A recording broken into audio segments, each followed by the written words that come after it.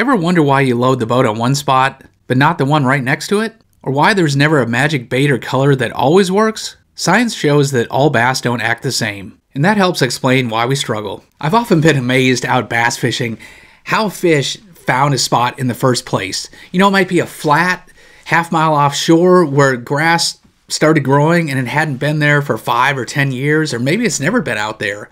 And then what about humps and, and high spots and stuff out in the middle of the lakes? Did they follow the bait? Did they go out exploring?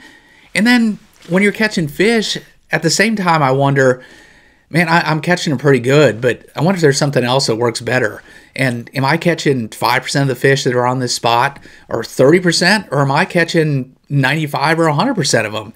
Well, this study helps give a few answers and some insight into the mind and personality of bass. This study was peer reviewed and published in 2012 and done by a, team of researchers at the University of Illinois. They took a look at the personalities of young bass and wanted to see if the personality trait carried over to all aspects, whether they were more curious, whether they roam more, whether they were more aggressive, whether they still fed around predators or not. They wanted to see if these traits carried over in all aspects of their life. The researchers thought that young bass were really a particularly interesting study based on a couple of things.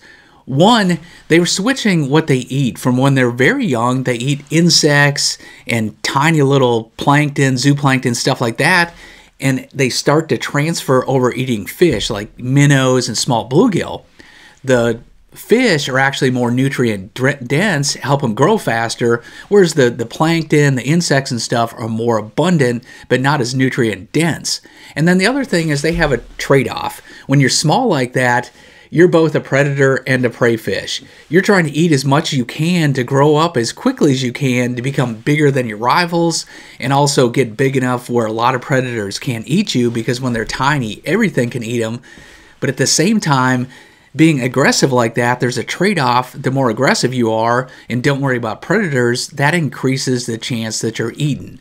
So basically, you have to decide what you're going to eat and how risky you're going to be to balance out trying to grow really fast versus not get eaten. The bass they used in here, they were they were small ones. They weren't fingerlings, but they were just two to three inch size bass. They're in that transition from eating the insects and larvae going up to the small fish. So these fish, two to three inches, and then they trained them in captivity to eat mosquito larvae. So just tiny little mosquitoes. And then the natural prey that they gave them the option to eat were tiny bluegills, which they're going to eat in the wild anywhere from a half inch up to one inch little baby bluegill. For the lab experiment, what they did is they put the bass in tiny little tanks and then they had a sliding door that went into a much larger tank. And basically, what they did is measure how long these fish would just stay in their familiar little tank versus how long did it take them to go out and explore this much bigger tank. They called them explorers versus non explorers. And then they also introduced a predator. And in this case, bass are cannibals, they use bigger bass. So these are two to three inch bass, and they put plexiglass there in some of the situations, and the predator was a 10 inch or bigger largemouth, which in the real world would definitely eat those bass. And these bass, even though they were in captivity now, they originally came from an, from an actual lake in Illinois. That's where they collected them. So these weren't hatchery raised fish. These are ones that came from an actual lake itself. So they divided these fish into the explorers and non explorers. The ones that were more homebodies versus the ones that wanted to explore everything. Now, the ones that wanted to explore, the explorers, when they would open that gate, within a minute or less, they were out there checking out the new environment, wanted to go check it out. The ones that were non explorers, the homebodies, it took them like 12 minutes on average to get out of their tiny little chamber. And the interesting thing was they repeated this study time and time again, and the ones that wanted to explore, they would very reliably do it over and over. They were just had the itch, they wanted to get out there and check out the new areas. The ones that were homebodies, the non-explorers, no matter how how many times they did it, they pretty much stayed at home every single time. Once they had them broken out as explorers and non explorers, basically the more curious, more aggressive versus less aggressive, less exploring, what they wanted to see is how that affected their feeding. So they gave these fish one at a time the opportunity to eat what was familiar, what they were already eating, those mosquito larvae, larvae or they could eat the young bluegill. So they had the option to eat either one. There were equal numbers of them and they were given to them at the same exact time. Now remember, these are fish that are transitioning from eating insects to going to becoming piscivores or, or fish eating. And the fish are more nutrient dense. They help them grow faster and quicker. So they are used to eating these young mosquitoes, but at the same time, there is a reward if you start transitioning to eating fish, that's going to help you grow faster. And one last thing I should bring up these fish had not seen young bluegill before, so this is the first time that they ran across them as a prey. But let me put up a chart here and you can see how it broke out for the explorers versus the non explorers. The explorers in the first category, you see, they ate more biomass or more food than the less aggressive non explorers. Now, when you break that down to what they ate, the explorers, you know, the more aggressive, more curious ones, they actually ate more of the mosquitoes than the less curious uh, non explorers did. And then when you get a look at the bluegill, which they hadn't run into before, they ate a pretty similar amount of bluegill though. And that's where it gets a little interesting. You would expect that the more aggressive, more curious fish would be the ones that were trying to eat more of the bluegill, but they actually were more aggressive and struck way more at mosquitoes, not only strikes, but the amount they ate. Whereas the, the less curious, more cautious, less exploring non explorer fish, those ones actually switched what they ate.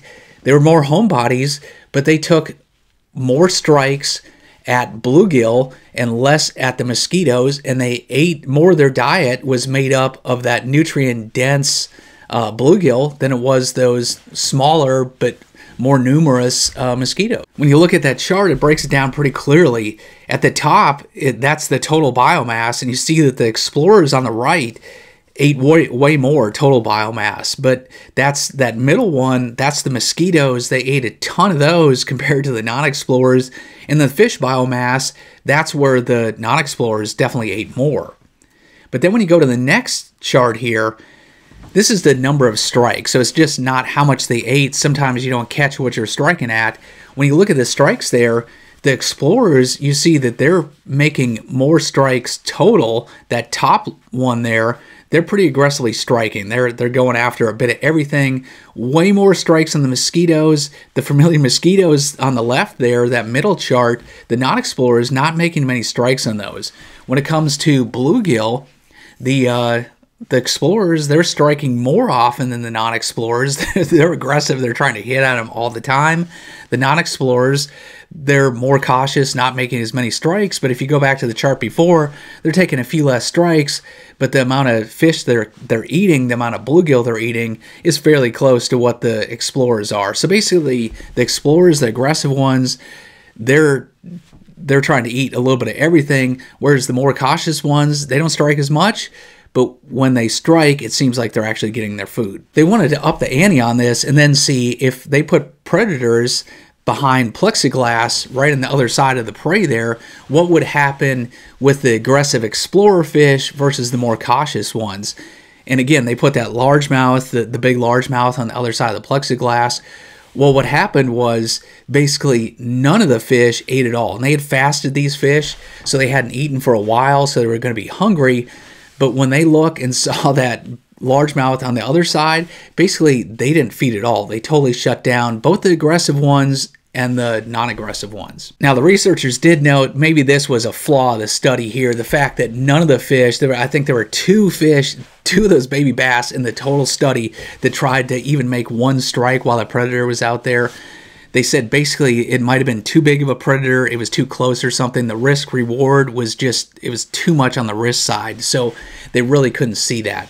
But what did come out was the personality traits carried through on some of the other attributes but they weren't necessarily consistent across all the variables. So a fish that was aggressive in one behavior wasn't necessarily aggressive in all the other behaviors. Now the researchers theorized a bit that the fish that were less curious, the non-explorers, may be looking at the risk or reward or the payoff of moving around or eating certain things versus other look at looking at the world through how much is my expenditure or my burning energy going to pay off? So roaming around, you know that's burning a lot of energy just to do it. Uh, eating these small mosquito versus the the big bluegill what's my biggest payoff? So those fish may be less aggressive might not be willy-nilly but they're looking at the world through the lens of what's going to give me the best payoff. I'm not going to burn energy unless it's going to give me a payoff. Roaming around that's burning energy